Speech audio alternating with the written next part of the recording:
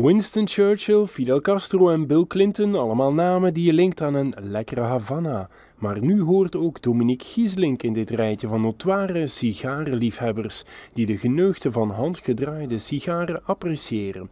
Want hij is de eerste vrouw ooit verkozen tot Habanos Man of the Year. Naast de ronkende titelhoudster een mooie trofee aan over. Een sigarenmannetje die eigenlijk uit de tabaksblaren springt is gemaakt door een uh, Cubaans kunstenaar. En uh, staat dus eigenlijk als teken volledig in de sigaar. Je ziet de tabaksblaren, je ziet de sigarenbandjes overal aanwezig. En natuurlijk de titel vooraan erop, Hombre de Habanos. Dus uh, zoals dat je kunt zien, ik ben geen man, maar een vrouw.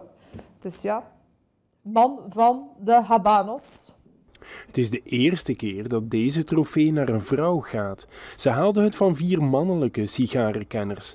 Want over sigaren moet je Dominique Gisling niets meer leren. Dat is de, de Siglo 6 Grand Robusto van Coiba. Dus als we geknipt hebben, dan gaat dit er eigenlijk gaan afvallen. Dus op de derde lijn knippen we en dan hebben we een soort van keppeltje die er eigenlijk afvalt. Een echte Havana opsteken is genieten. Zo'n chique sigaar verspreidt geen rook, maar een zalig aroma. Dominique Gieselink weet als sigarensommelier alles over het ritueel van sigaren roken. Veel mannen kunnen daar een puntje aan zuigen. Mijn sigaar moet beestelijk bij een vrouw zitten. Die beest gaat uit.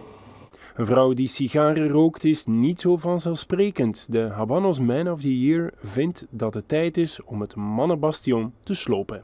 Ik denk dat mensen nog altijd sigaren associëren met mannen, sowieso.